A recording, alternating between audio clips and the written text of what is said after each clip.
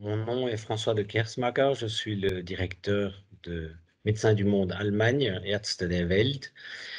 Euh, nous avons des projets en Ukraine depuis 2015 et je voulais vous donner quelques nouvelles suite à la situation à laquelle nous faisons face actuellement.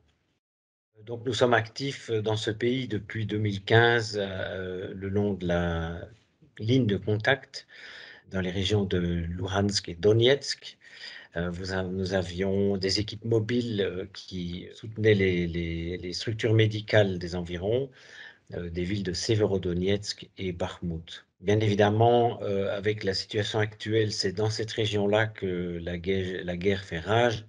Donc, nous sommes obligés de replier nos équipes, de les mettre en sécurité ce qu'elles ont fait dans les derniers jours. Nous avons d'abord, euh, avant de quitter la région, nous avons distribué les stocks qui nous restaient aux hôpitaux locaux pour qu'ils puissent euh, assurer un minimum euh, pendant cette période si difficile.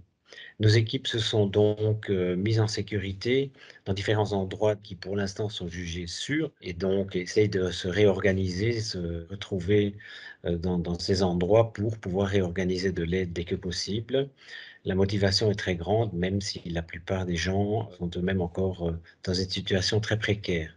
Donc nous espérons pouvoir, euh, dès que possible, réassurer des fournitures médicales euh, de première urgence pour les hôpitaux des endroits où se trouvent nos équipes et ainsi pouvoir assurer les soins des personnes blessées.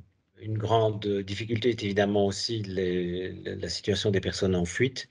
Euh, nous avons des centaines de milliers de personnes en fuite euh, en direction de la Pologne et de la Roumanie, euh, entre autres. Et donc, nous souhaitons aussi là réfléchir à des possibilités éventuellement d'une intervention de Médecins du Monde et de son réseau dans ces pays-là pour venir en aide aux personnes dont le besoin aux abords des frontières où manifestement l'équipement est tout à fait insuffisant pour l'instant.